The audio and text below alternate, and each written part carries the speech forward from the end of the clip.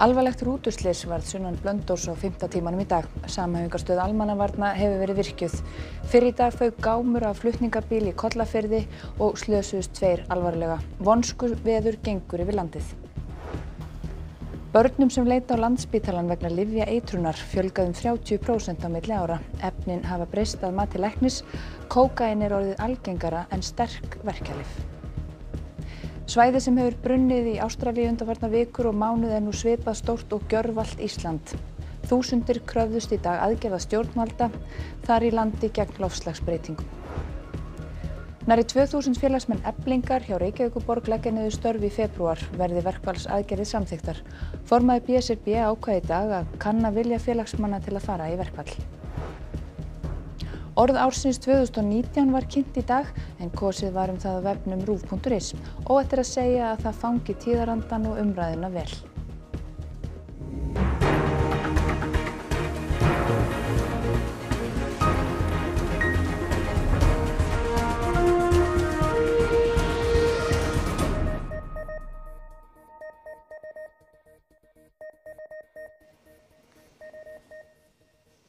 Komið sæl.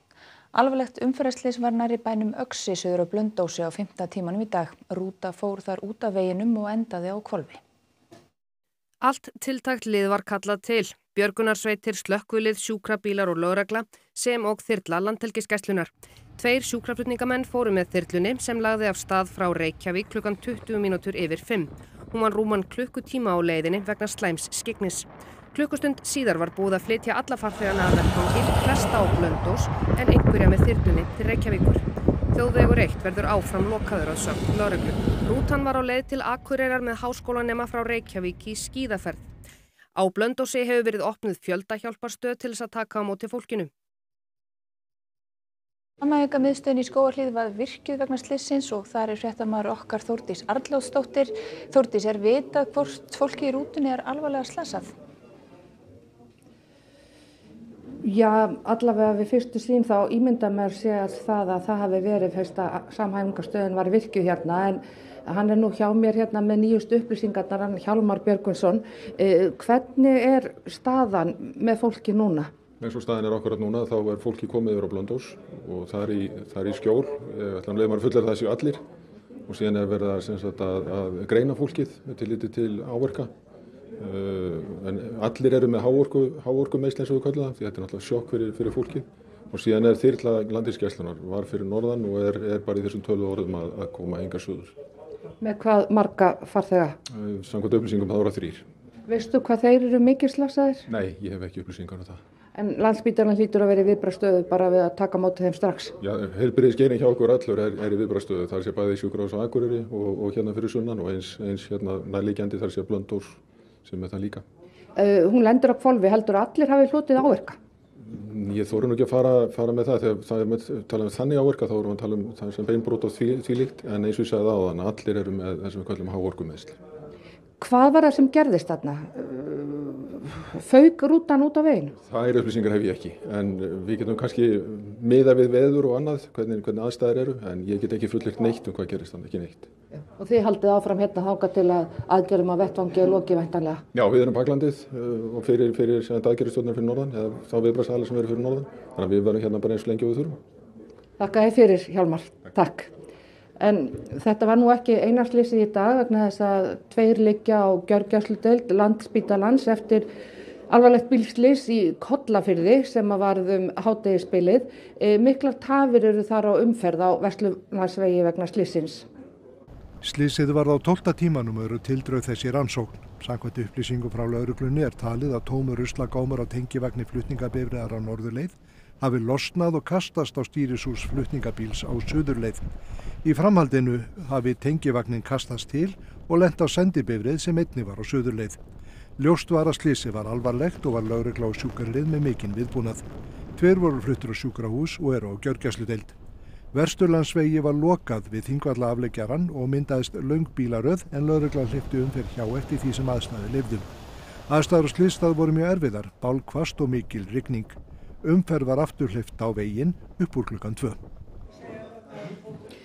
En ferðafólk lendi víða í vandræðum í dag í vonsku veðrunum á vegunum og á þessari fjölfernu leið millir Reykjavíkur og austur fyrir fjall þá er talið að um 80 bílar hafi fest sig þegar mest var og það var unni við að móka og búið að loka heiðinni en snjómókstusmaður sem við hittum þar eftir hádegi í dag, hann er ekki vafum ástæðina fyrir því að svona margir festu sig.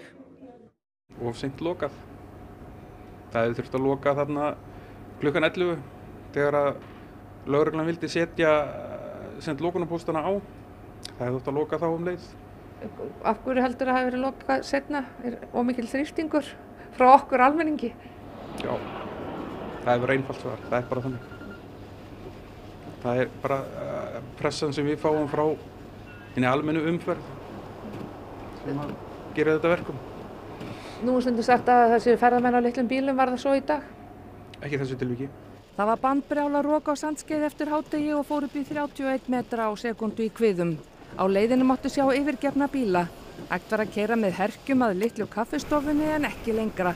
Þar voru enn nokkrir um hálf þrjúleitið að býða eftir að veðrinu slotaði. Um eitt leitið var það verra. Það var bara alveg fast í brekkunni hérna, uh, frá brekkunni og alveg langt inn á sandskeið, alveg rauða bílum sem er náða að snúa við og fara. Það er fengur lánaða skóplu hérna til að móka sér út. Við erum að fara í Kolstendakirkju í Jarðafjörn og hérna við vonustum til að komast en það er kannski ekki alveg bjart útlitið eða hvað? Jú, mér sýnist það nú sko. Já. Hún er klokkan fjögur, ættum að ná þessu. Uh, þið hérna, hún átti að vera í gæri eða hvað? Já, hún átti að vera í gæri og var aflýst vegna við þess. En þið náðu kannski allavega í erfiðdrykkjuna? Jú, jú, það var hringt í aðstendendur og þeir vilja fá okkur allavega. Þannig við förum, það verður gott að leiðinni heim. Við náðum að koma með uh, hjálp björgunarsveitana, að koma bílónum í burtu, megnin af þeim, en það eru bílar sem eru bilaðir og mikið fastir, stóri bílar sem eru fastir. Þannig að það tekur tíma að ná þeim í burtu.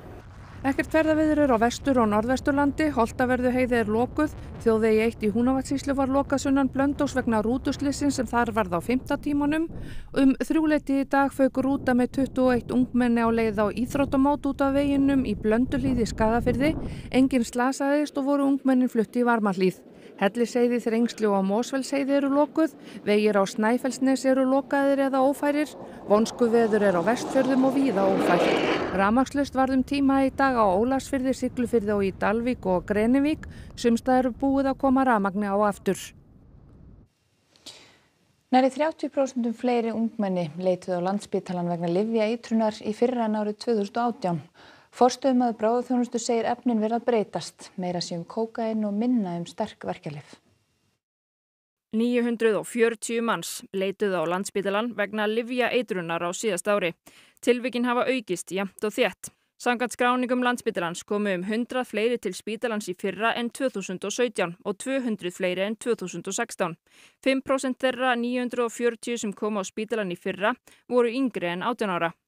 Undanfarinn fjögur ár hafa meðaltali 40 börn komið þangað vegna eitrunar en voru 53 í fyrra eða tæplega 30% fleiri. Það er alltaf áhugjefni þegar við sjáum meira af lifiðeitrun og sérstaklega þessum yngsta aldurshópi.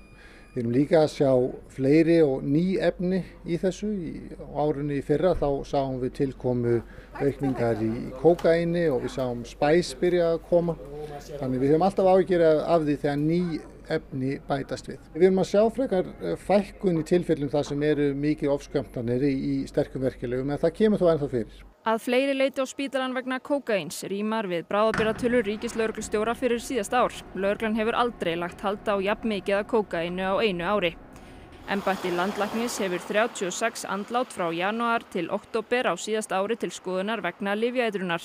Tölur fyrir allt árið liggja ekki fyrir en 2018 voru 39 livjatengt andlát skráð í dánarmeinaskrá. Börnum yngre en 15 ára sem koma á landsbytalan með livjaeitrun hefur líka fjölgað. Í fyrra komu 11, 6 árið á undan, en 2 árið 2016 og 2017. Ég held að þetta sé stort samfélagslegt samfunnuverkefni, þar sem að helbriðistjónusta, löggjæsla, tollgjæsla, en líka skólar og fræðsliðuveld þurfa að vinna saman til þess að minka þetta. Valgerður Rúnarstóttir, þú ert yfirleiknir á vogi. Getur þú byrjað að segja okkur aðeins hvað livjaeitrun er? Já, Livja Eitrun eins og ég býst við að þau sé að vísi hérna í fréttinni frá landsbytalanum er um, þessi þegar einhver tekur of mikið að livjum og þá mæntalega svona vímugefandi livjum, ég held að vera að tala um það fyrst og fremst mm.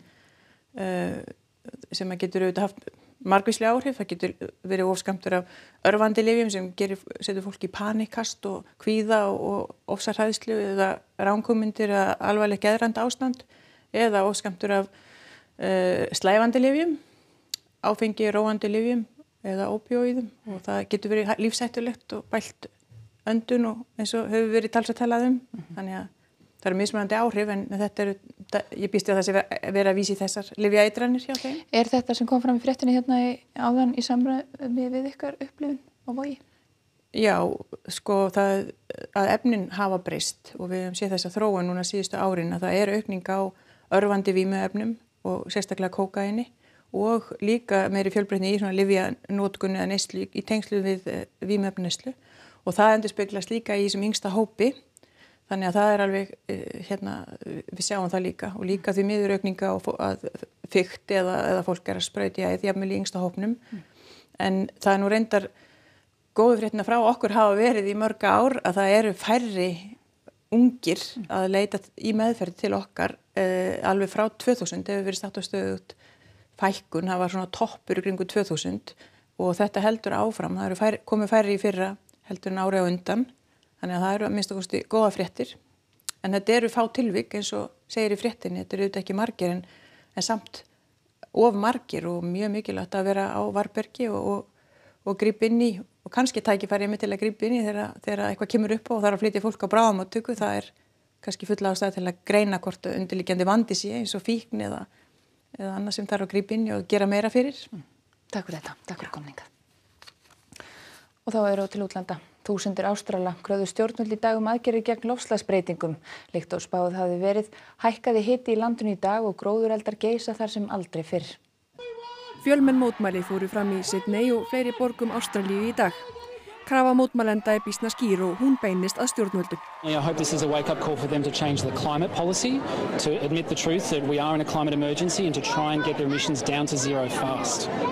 Gróðureldarnir hafa margir geisað í vikur og mánuði. Svæðið sem brunnið hefur er stærra en gjörvalt Ísland að flatarmáli. Á þessum kortum má glögglega sjá hver hröð útbreyslan hefur verið fyrstu viku þessa árs. Í dag gerðist það sem bæði spáð og óttast hafiði verið að stórir gróðureldar í annars vegar Viktori og hins vegar nýju Suðu Veils sameinuðist í flenni stort eldhaf sem nær þvert á ríkjamörk.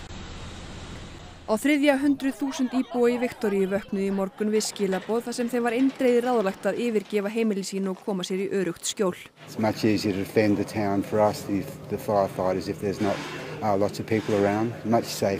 Á Kenguru eigum, úti fyrir söðuströnd Ástralíu, þurfti að rýma tvo bæi og íbúar stærsta bæjar eigunar urðu innleiksa vegna gróðurelda.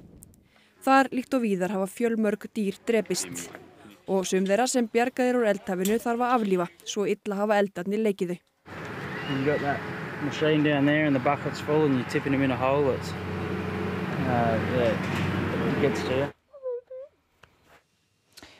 Snarpur jarðskjálti, 3,9 stærð, var rétt eftir klukkan 1 í dag, fjóra kilómetra suðaustur á hveragerði. Skjáltin fannst greinilega í hveragerði á Salfossi, Eirarbakka, Stokkseyri, í Grímsnesi og höfuborgarsvæðinu. Lítið tjón varði skjáltanum en myndir duttu af veggjum og hlutir úr hillum. Íbúar listi þessu eins og bíl hefði kert á hús. Samkvæmt upplýsingum frá sérfræðingi veðustofuna var skjáltin á sprungum millir hveragerðis og selfoss. Þó nokkru eftir skjáltar mældust, þó mun minni en fyrsti skjáltin. Starfsmenn á leikskólum og hjúgrunaheimilum hjá Reykjavíkuborg gætu verið á leið í verkföll í februar verði vinnustöðun eblingar samþygt. Formaður eblingar segir viðræðna stranda á launum og aðbúnaði starfsfólks. Ebling ákvaði í dag að loknum fundi með Reykjavíkurborg að bóða til atkvæðgreyslu um verkföll í februar. Verði vinnustöðunin samþygt leggja rúmlega 1800 starfsmenn eblingar hjá borginni niður störf heilu og hálfu dagana í februarmánuði. Ef ekki nást samningar fyrir 17. februar þá hefst ótímabundið verkvall. Já, ég held að mér sé bara óhætt að segja það að uh, allt fólkið okkar mun taka þátt í þessum aðgjörnum. Það eru meðal annars yfir þúsund manns sem starfa hjá leikskólum og 700 við ummunun aldraðra. Solveig Anna er samfærð um að verkfallsboðunin verði samþygt en á hverju stranda viðræðurnar.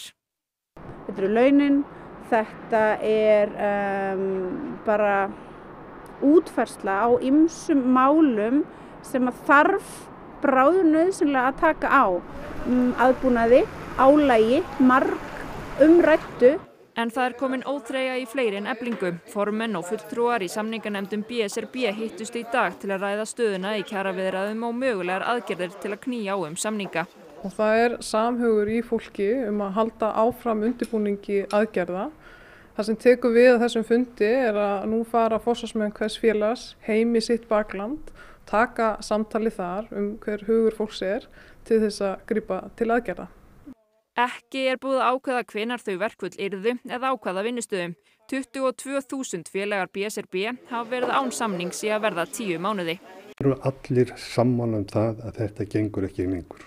Við, ef við gerum ekki neitt, þá getum við alveg átt vona því að vera að hanga yfir þessu fram á vor. Og það er ekki það sem menn alltaf láta bjóða sér. Úkrænski sérfræðingar fengu í dag að henda flugurita úkrænsku farþegaþótuna sem rapaði í Íran fyrir vikunni. Stjórnvöldi í Bandaríkjunum, Breitlandi, Kanada og nú síðast Hollandi segjast þess fullviss að Íranir hafi granda þóttunni. Jens Stoltenberg, framkvæmda stjóri Allansáfsbandalagsins, hvaðst í dag ekki sjá ástæðu til að draga þær fullirðingar í efa. Stjórnvöldi í Íran hafa hins vegar þver neitað að bera ábyrð á flugslýsinu sem kostaði 176 manns lífið. Stjórnvöldi í Ukrænu heita því að velta við hverjum steini til að komast að því hvað gerðist. Ну, по-перше, я ще раз звертаю увагу, що у нас сім версій на сьогоднішній день. Друге питання, те, що стосується саме ракети ТОР або інших питань, у нас всі версії є в пріоритеті. Журналісти чомусь поставили це на перше місце. Скажімо так, для нас це не є головним пріоритетом. Це один із пріоритетів, які ми сьогодні відпрацьовуємо. Guðrún Ágmustóttir var jarðsungin frá Hallgrímskirkju í dag. Guðrúnar er minnst sem ötullar baráttukonu fyrir mannréttindum og betra samfélagi. Hún satt bæði í borgarstjórn og alþingi og barðist meðal annars fyrir réttindum hins einn fólks. Guðrún lést á gamlástag eftir baráttu við krabbamein. Útför Vilhjáms Einarssonar var líka gerð frá Hallgrímskirkju í dag. Vilhjálmur var einn merkilegasti íþróttamaður Íslandsugunar og sá fyrsti til að vinna til silfurverluna á olimpíuleikum. En það gerði hann í þrý stökki í Melbourne árið 1956. Hann starfaði lengst af sem kennari og skólameistari. Vilhjálmur lést á landsbítalanum þann 28. desember.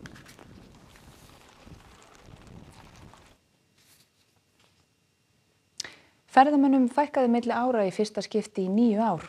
Búast má við lítilsáttar samdrætti áfram, þetta segir ferðamálastjóri.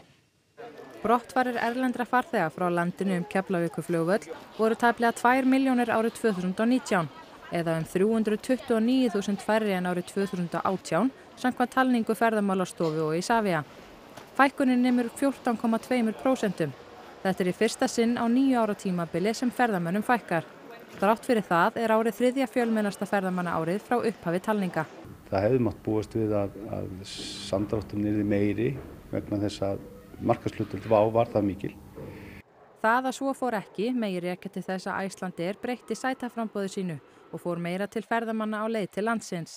Skarpíðin segir jafnvel með að gera ráð fyrir lítilsháta samdrætti áfram. Það þurfi þó ekki að hafa mikil áhrif. Það sem skiptir kannski fyrst og næst máli það er hverjir eru að koma, hversu lengi þau dvelja, hversu víða þeir fara, e, frekar heldur en hausafjöldin. Hagtölur hafi sínt að efnahagslega áhrif þessa samdráttar séu minni en þessi 14% gefið til kynna. Það sem fækkunin sé fyrst og fremst meðal ferðamanna sem dvelja skemur. Mest er fækkunin meðal bandarækjamanna um 230.000. Bandarækjamenn voru samt sem áður fjölmennasti hópurinn eða um 464.000. Kínverum fjölgaði um 11% og er gert ráð fyrir að þeim fjölgi áfram. Núna þessu ári er, er áforma beint flug e, millir Íslands og Kína og það mun auðvitað hafa einhver áhrif. Það er engin ástæðilega að ætla annað en að, að aukning verði e, í fjölda kínveskra ferðamanna e, og, kín, og ferðamanna frá þessum heimsluta. Guðrún Eva Mínervudóttir og Bubi Mortens fengu menningar viðkenningar RÚF sem veittar voru síðdeis í dag. Guðrún Eva hlaut viðkenningu Rithöfundasjóðs Ríkisútarsins. Útlutunar nefnd sagði í raukstuðningi sínum að Guðrún Eva væri afkastamikill rithöfundur og þóttu skáldsögur hennar þótt þar séu bæði ólíkar sæki þær í keimlík þemu og leggi til allugu við svipar grundvallar spurningar. Bubbi Mortens hlaut krókin viðkenningur ásvar 2 fyrir framúrskarandi lifandi tónlistarflutninga árunu. En einnig var greint frá niðurstöðum kostningar um orð ársins. En orð ársins 2019 er hamfara hlínun.